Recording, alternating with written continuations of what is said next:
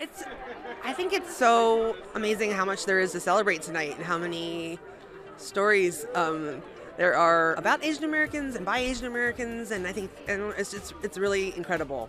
Every year it feels like there's there's more to celebrate. I think that 2022 I will look back on it as the year um, the summer I turned pretty came out, and I think that was pretty unforgettable for me because it was um, such a joyous experience, and I I love the show. I love the cast, and it was really fun to be able to finally like share it with the world. I mean, they're like the best. My readers and also um, viewers, I think they're just like the best people because they're really kind. I think that yeah, I guess it surprised me in a good way. Um, how I don't want to give a spoiler, but I, I, think people were very um, caught off guard by like emotions that they may have felt by the show, and I think as a storyteller, that's the most exciting part for me is to connect with the audience and make people feel something. No. but it's a book too. Yeah. So people, there's like, but the, you know, there's always going to be changes here and there. Yeah. So I guess you'll just have to wait and see. I no, I've been really busy doing um, Summer I Turned Pretty, but also um, I have another show coming out next year um, called XO Kitty, which is the spinoff of To All the Boys I've Loved Before.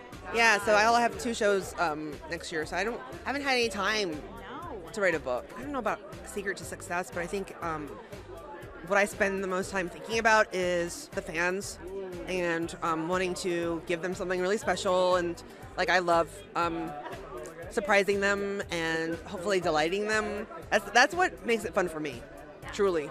Just everything having to do with our show, The Summer I Turned Pretty, coming out this year, and the premiere, and getting to do it with such wonderful, wonderful people like like Sean here. Um, it's been really incredible. Oh, uh, for the fans, I think everybody's going to be excited. I think that season two provides a lot of stuff for books, uh, for the book fans, and for a lot of the new fans who have just started watching the show. I think there's a great mix of both, and I think Jenny really, really knows how to balance that well. Yeah, I mean, I don't.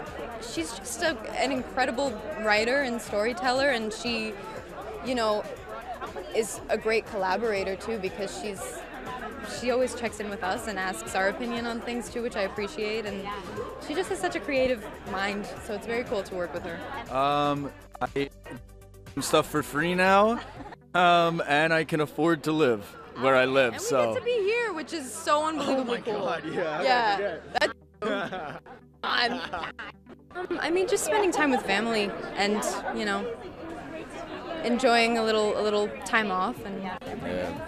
Uh, eating latkes with my family and celebrating Hanukkah and spinning dreidels. Wonderful. it's gonna be great. It's gonna be. Another adjective you could use. Uh, would you like to? Unforgettable. yeah. Sean's got it. Sean's got it.